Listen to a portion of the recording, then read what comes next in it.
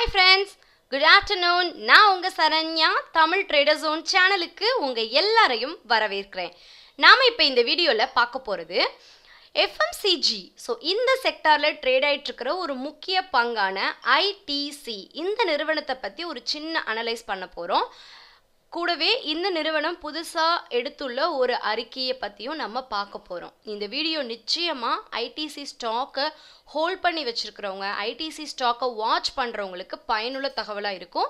So எனக்கு இந்த stock ரொம்ப பிடிக்கும். ஏன்னா எஃப் ஒரு எஃப்எம்சிஜி செக்டார்லேயே பெரிய லெவலில் ரொம்ப ஷா கம்பேர் பண்ணும்போது ஒரு ப்ரைஸ் லெவலில் கம்பேர் பண்ணும்போது ஒரு ரீசனபிளான ப்ரைஸாக இருக்குது ஸோ இந்த ஸ்டாக் மேலே நம்ம ஃபோக்கஸ் போகலாம்.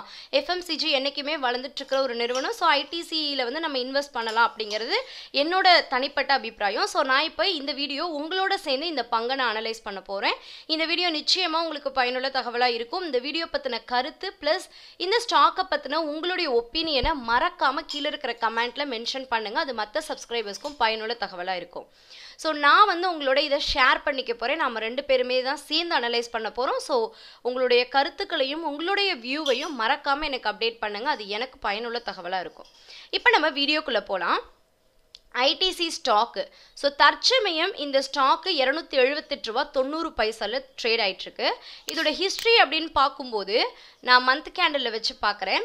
ஆயிரத்தி தொள்ளாயிரத்தி தொண்ணூற்றி அஞ்சில் இருந்து இந்த பங்கு தொடர்ந்து ஒரு ஏற்றத்தை கொண் அடைஞ்சிருக்குன்னே சொல்லலாம். லைஃப் டைம் ஹை அப்படின்னு பார்க்கும்போது ரெண்டாயிரத்தி பதினேழாம் வருடம் ஏழாவது மாதம் இந்த பங்கு முந்நூற்றி அறுபத்தி ஏழு புள்ளி எழுபது அப்படிங்கிற லெவலில் ட்ரேட் ஆகிட்டு அதே மந்தில் இரநூத்தி எழுபத்தி ஆறு அப்படிங்கிற லெவலில் வந்து லோவாகவும் இருந்திருக்கு.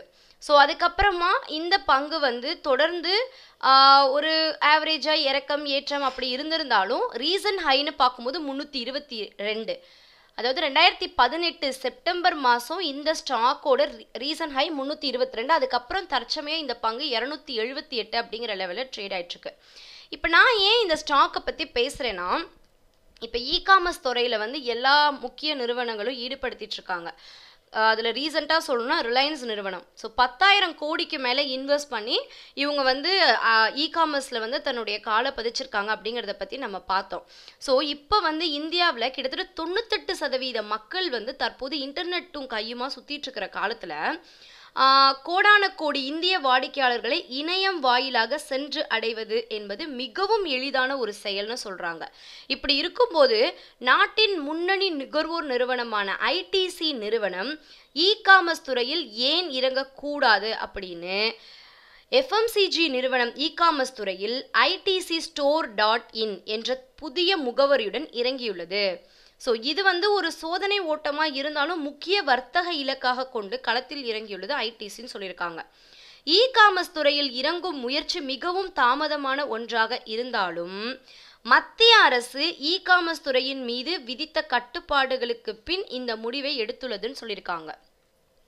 ஸோ இதை வந்து நாம் கவனிக்க வேண்டிய ஒரு முக்கியமான விஷயமா இருக்குது ஸோ ரிலையன்ஸுக்கு அடுத்து ஐடிசி நிறுவனம் பல நூறு பொருட்களை விற்பனை செய்தாலும் இப்புதிய இ காமர்ஸ் தளத்தில் தற்போது ஐடிசி ஃபேப்லி என்ற ஆடம்பர சாக்லேட் பிராண்டை மட்டுமே விற்பனை செய்து வருதுனோ ஐடிசியின் இ காமர்ஸ் சேவை நாட்டின் மெட்ரோ நகரங்களை மையப்படுத்தி மட்டுமே இயங்க உள்ளது அப்படின்னு குறிப்பிட்டு சொல்லியிருக்காங்க. ஃபேபிள் பிராண்டை பிராண்டை தொடர்ந்து இத்தளத்தில் ஐடிசி நிறுவனத்தின் பிரீமியம் பிராண்ட் பொருட்களை விற்பனை செய்ய திட்டமிட்டுள்ளதுன்னு குறிப்பிட்டிருக்காங்க. இதன் மூலம் எஃப்எம்சிஜி பிரிவில் தொடர்ந்து ஐடிசி முதல் இடத்திலேயே இருக்க முயற்சித்து வருது அப்படின்னும் மற்ற நிறுவனங்களோட கம்பேர் பண்ணும்போது இந்த நிறுவனம் எப்படி ஆக்கிஃபை பண்ணும் மார்க்கெட்டில் வந்து இது எப்படி தாக்கு பிடிக்கும் அப்படிங்கிற ஒரு பெரிய கேள்விக்குறியையும் மார்க்கெட்டில் சொல்லியிருக்காங்க. ஸோ இது வந்து நம்ம கவனிக்க வேண்டிய ஒரு முக்கியமான விஷயம். இதுக்கு அடுத்து நம்ம கவனிக்க வேண்டியது இந்த பங்கை பற்றின சின்ன அனலைஸ் ஸோ இந்த நிறுவனத்தோட மார்க்கெட் கேபிட்டல் அப்படின்னு பார்க்கும்போது மூணு லட்சத்தி முப்பத்தி ஏழாயிரத்தி இரநூத்தி இருபத்தெட்டு கோடிக்கு மேலே இருக்குது இந்த ஸ்டாக்கோட புக் வேல்யூ நாற்பத்தி ஒரு ரூபா தொண்ணூற்றி ஆறு காசு.